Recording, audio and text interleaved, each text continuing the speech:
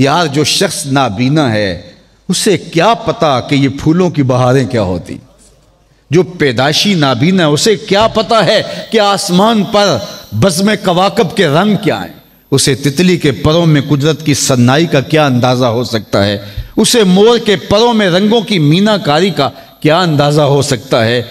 उसे फूटते झरनों, बहती नदियों और कोसे कज़ा की रंगीनी और धनक की शोखियों का लुत्फ कैसे नसीब हो सकता है? उसको क्या पता हुस्न क्या होता है? उसको क्या पता जमाल क्या होता है? इसी तरह जिसके दिल की आँख अंधी है, उसे क्या पता है कि जमाल खुदा क्या होता है?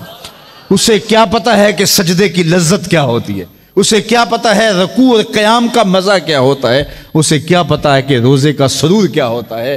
तो अगर हम अपने दिल के मैल उतारेंगे तो दिल की आँखें खुलेंगी तो फिर ज़िंदगी का लुत्फ आना शुरू होगा। फिर पता चलेगा इस्लाम क्या है। फिर पता चलेगा दीन क्या है।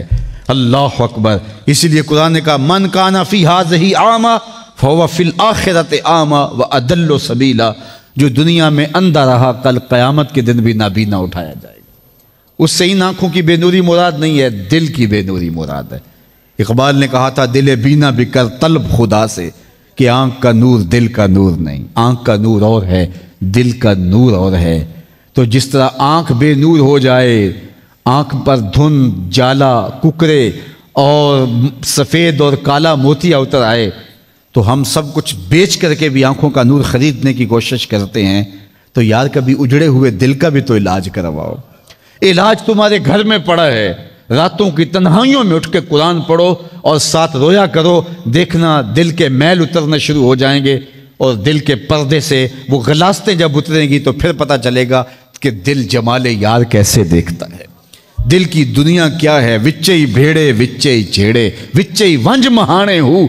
चौदह तबक दिले दे अंदर, तंबू वांगू ताने हो। फिर पता चलेगा ये दिल दुनिया क्या है। फिर इसकी तड़प, इसकी बेचैनी, इसका इसतराब ज़िंदगी का हासिल बन जाएगा। फिर ज़िंदगी की बेचैनियाँ, दिल की बेचैनी और दिल का महबूब की याद में तड़पना तुम्हें सरूर देगा। फिर तुम एक एक उजब में दिल मांगोगे। वो मज़ा दिया तड़प ने मेरी आरज़ू है यारब वो मज़ा दिया तड़प ने मेरी आरज़ू है यारब मेरे दोनों पहलुओं में दिले बेकरार होता। फिर समझ आएगी कि ये दिल कितनी कीमती शय है।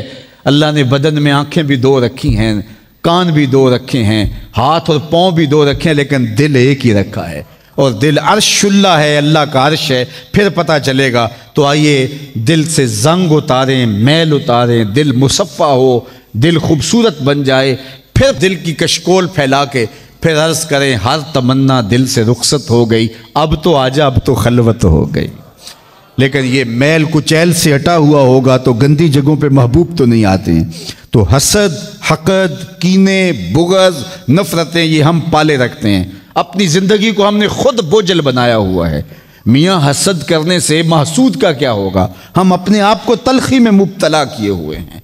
बुगज रखने से मबगूज का क्या होगा? हम अपने आप को बोझ में मुबतला किए हुए। तो अपने दिल से ये सारे बोझ उतार करके जब दिल को मुसफ़ा और मुजक्का करेंगे तो फिर देखिए कि दिल के आईने में कैसे जमाल यार दिखाई देता है। तो इस दिल की असलाह होगी कसरत के साथ कुरान मजीद की तिलावत करने से। तो रातों की तन्हाइयों में उठ के कुरान पढ़ो, देखना कि कैसे दिल के जंग उतरते हैं। बाज़ लोग बड़ी अजीब खबर सुनाते हैं, मियाँ, तुम्हें कैसे पता? वो कहता है, मैं रात अचानक नींद नहीं आ रही थी तो एक चैनल खोला तो उसमें ये खबर चल रही थी। तो मैंने कहा, तुझे नींद नहीं आ रही थी, तूने चैनल खोला, काश तू कुरान खोल के बैठ जाता। तुझे वो दिखाई देता कि तेरा अंदर तेरा बाहर रोशन हो जाता।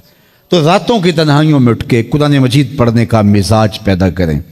अपनी सुबह का आगाज़ कुरान मजीद की तलावत से करें।